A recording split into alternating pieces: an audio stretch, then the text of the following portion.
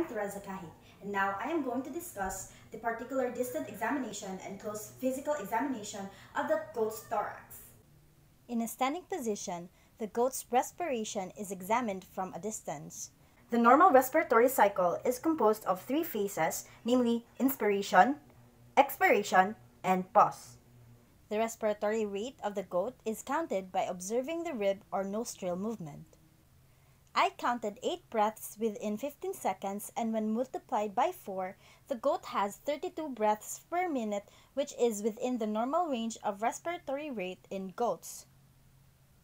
The movement of the respiratory depth may be reduced due to chest or diaphragm conditions or may be increased due to any type of anoxia. My goat has a normal respiratory depth because the goat did not show labored breathing, extension of head and neck, dilation of the nose, abduction of elbows, breathing through the mouth, and no increased movement in the thoracic and abdominal wall. The observed goat also has a normal respiration since there is movement of thorax and abdomen. The goat does not have abdominal type or thoracic type respiration since there is no increase in the movements of the said anatomical parts. After inspecting, I could say that the thorax symmetry of the observed goat is good since there is no movement restriction of the thoracic wall and there is no enlarged parts of the thorax. Lastly, respiratory noises such as coughing, sneezing, wheezing, snoring, grunting, and roaring should be noted as well as when these noises occur in the respiratory cycle since these noises signify abnormalities in breathing. The observed goat does not make the aforementioned noises. After doing a particular distant examination of the thorax of the goat, I conclude that my goat has a healthy and normal thorax. The examination of the thorax include palpation, auscultation, and percussion of the heart and lung areas. To auscultate the heart properly, one must note the heart rate, heart rhythm, intensity, quality of sound, and hear any presence of abnormal heart sounds. Let's locate the elbow of the left forelimb.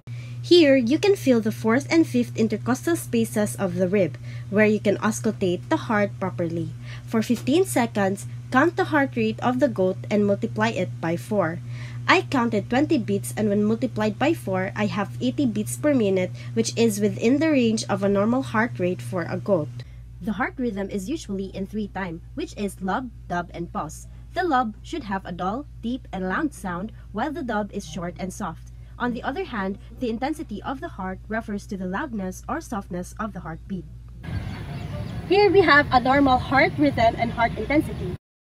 To check for any abnormal sounds, you can move the chest piece of your stethoscope. The first systolic or lub sound is best heard over the apex of the heart, found between the fourth and fifth intercostal spaces, while the second diastolic or dub sound is best heard over the base of the heart, found in the upper intercostal spaces of the ribs. We should palpate the heart to make sure that the left side has a stronger beat compared to the right side. We could also perform a percussion of the heart to check if the heart is filled with air. The normal breath sounds can be heard over most of the lungs. It consists of a soft VF in which the F is heard during expiration. Depending on the size of the chest wall, the lung sounds can be heard with variable ease. The loudness of the sound is increased when there is dyspnea or an early pulmonary congestion and is inaudible or is decreased when there is pleural effusions. We should palpate the thoracic wall and check for any bulging, pleuritic thrills, Or, narrowed intercostal spaces or any kinds of abnormalities. Lastly, we could do a direct percussion of the intercostal spaces.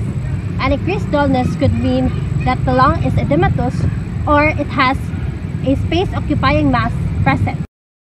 after performing the auscultation, palpation, and percussion, I conclude that the goat I examined has a healthy heart and lungs.